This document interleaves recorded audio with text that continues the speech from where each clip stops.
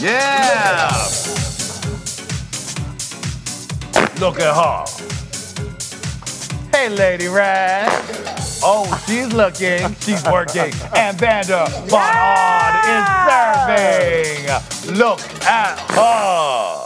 Hello, everyone, and welcome to Look at the Hey Qween After Show, where our super celebrity guest looks at some of the queens she's played with, slayed with, or even laid with, and spills a little tea, mm, throws little shade if she has to, or just tells us something that we don't know. Today's guest is the winner of the first season of Dragula, the world's first drag super monster, Vander Von Odd.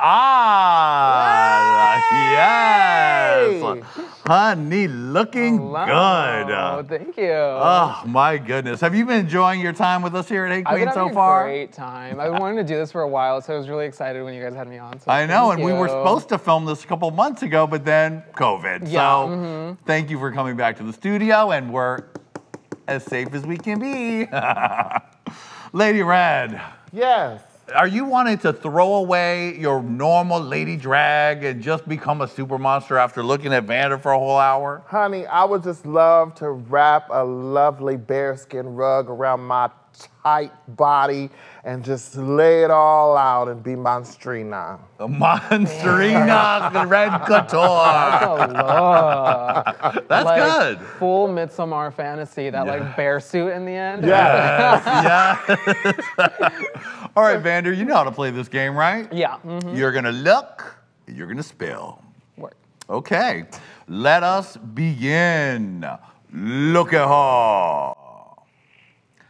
James oh, St. James. James. Oh, James was one of those people that I really clung on to as a kid growing up in a small town with very few representations of myself that I could see in other people. James had a show on MySpace called The Daily Freak Show, and it was just James going around Hollywood doing wacky things. And I watched every single episode, and I, there were so many, th- like, he went to a club called and Giggles that was like Yeah. super old, like that sort of stuff.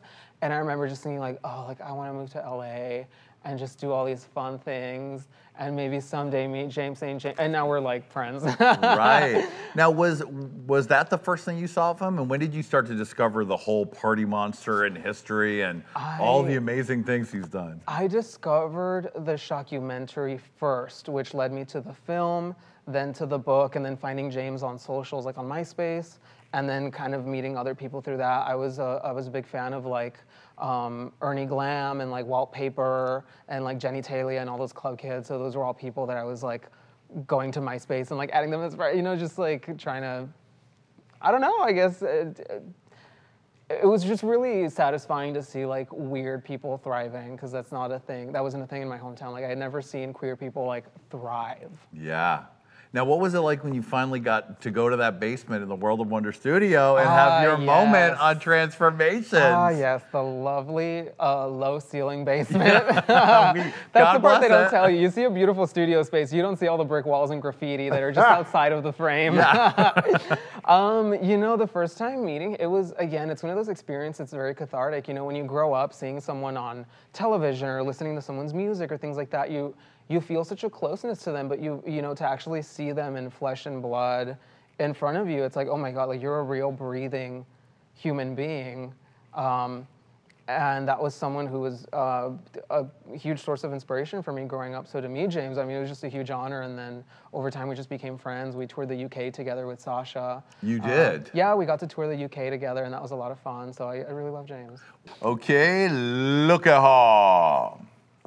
Ursula, Major. You know, Ursula, Ursula moved back to Salt Lake City, and it seemed like we were always like in passing. We didn't get to work a lot, so I didn't get to hang out with her very much. But uh, Ursula is a very, is a highly, highly creative, weird person in the best way, and it's a shame you don't get to see a lot of that. Um, on Dragula, she has like a faggot tattooed around her belly. You Yeah. know, like she's that bitch. Uh, yeah, she's a lot of fun. Was it exciting when you went into Dragula and once you got over the nerves to sort of really be bonding and having this experience with other queens who were not in the normal uh, drag aesthetic? Yeah, for sure. I, I had never worked with most of them at that point because they again they were doing like paid gigs and I was doing I was doing tip spots. So we we crossed paths, but um, we never actually got to talk or hang out, and especially not in the extreme environment that is Dragula, where it's like we're all competing against each other, but also we were kind of like clinging on to each other for survival. Yeah. Because that was an intense shoot. It was intense. And I think one thing that was really special about season one was that we were all LA girls. So even if we hadn't worked together, we all knew of each other. And there is that sort of closeness of living in the same city. Whereas um, now that it's international, I think it's a lot more daunting to go into a space from people you've probably never even heard of before. Like that's a whole different ballgame. Are you part of uh, the casting now at all? Yeah, I wasn't for season two. For season three, I was involved in casting. So are you getting to watch tapes and give your feedback? So I didn't get to see. I don't know why I say tape. Sorry, Vander. I'm an old lady. I'm like, are you watching tapes? Like people are sending them. in That's what we call them. VHS tapes. Yeah, it's like a laser disc. yeah. Uh, I, uh, what was I gonna say? Um, About watching the auditions? Oh yeah, so I don't, I don't, I don't actually get to see the auditions. So um, my involvement in casting for season three was, I believe the Boulets watched all the videos and they picked out a core group of like 20 to 30 people, and then that's when we collectively as a team had casting meetings where we were kind of like, you know, doing kind of like the whole like CSI detective thing with like little red strings with Yeah. pins and all that, and like kind of piecing together what the cast would be. Interesting. Uh, okay, let's keep it going. And remember that you can watch season one of Dragula right here on Hey Qween TV. Check it out. Watch Vander slay. Literally. Look at her. Oh, Sasha Velour. Another winner, winner of Drag Race, winner of Yeah. Dragula. When did you first meet Sasha Velour? I actually met Sasha through Instagram prior to her being on Drag Race. I was asked to um, do a feature on a magazine, a UK magazine called All Right Darling. And they, when they reached out to me, they were like, oh, for reference, like, here's our previous issue if you want to see what it's like. And the issue was on Sasha. So then I followed her back on Instagram and we messaged each other and we were just really, we became like big fans of each other's work. And then lo and behold, she, she got on Drag Race. And then it all kind of, like for both of us, it kind of like blew up around the same time because she was crowned not very long after I was. Right, that's true. Yeah, it was very close.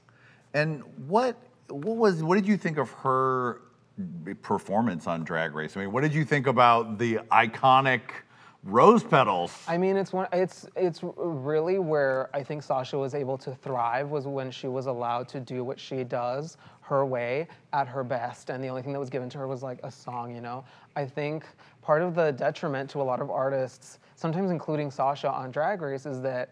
Um, I hope she's okay with me saying this, but I feel like Sasha definitely kind of played the game of this is what I want my career to be. These are the things that I want. And these are the tasks that I'm gonna have to do to achieve that. And I think she went into Drag Race with a plan of like, I just need to adapt whatever I do as best to this competition because I need to win this because I want my shows and my things to explode, you know? Uh, so in that sense, I think the Sasha that you see on Drag Race is definitely Sasha Velour adapting herself to Drag Race. The real Sasha is the one you see in the finale when she's lip syncing. Like that is Sasha. you know? You've been to the intimate home world of Mr. and Mrs. Velour. Yes. What's something we wouldn't know about them? Oh, oh, something you wouldn't know about them.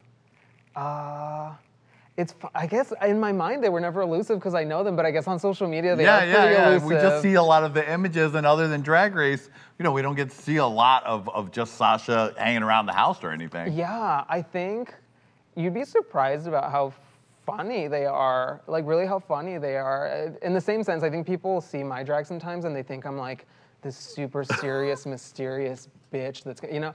But um, really, this is just like, it exemplifies some of our favorite parts of ourselves, but it's not all of us, you know? Yeah. I think when you're, like, for me, when I'm so serious in my drag, sometimes when I'm not in drag, I'm just like, you know, caution to the wind. Sure. Uh, so yeah, Sasha's just like really funny and really jokey, and we'll like smoke pot at her house after Uh-huh. a show and just get high as like you know like that's yeah, I love at it. Lady Allure. Red, you can get down with that. At all times. Okay, look at her. Melissa. Melissa B. Fierce. Now, you said when you saw Melissa Be Fierce on the first day of Dragula, that, Yeah, I shit my panties. I thought she was gonna be a bitch. ooh. I really thought Melissa, because my only understanding of her was that she was more of like a West Hollywood queen who was um, very well known, had won some competitions, and like the name spoke for itself. Like she's fierce as. Uh, and I ju- and like her demeanor on set the first day was very kind of like, hmm, you know, Uh, it was very yeah. that. So I was like, this bitch. But um, she ended up being one of my favorite people to compete with on the show, and we connected a lot. There were days after filming where we would just be, oh my god! After the finale, we were both like covered in fake blood, exhausted. I smell like vomit. Like we're just gross. and I drove her home, and we just went to McDonald's together. Yeah. And we just ate McDonald's in my car, just like sad and disgusting, both of us. You know. so that's the kind of relationship I had I have with Melissa. Hello, children.